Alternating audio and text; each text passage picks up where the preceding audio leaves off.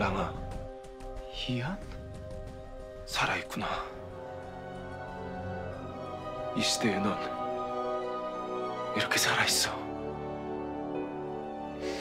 죽어!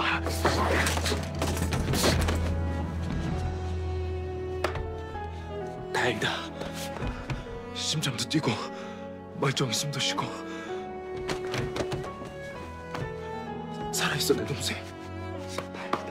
꺼져 이 새끼야. 어디서 편이라도 물다 왔냐? 미안하다. 우리한테 시간이 별로 없어, 랑아.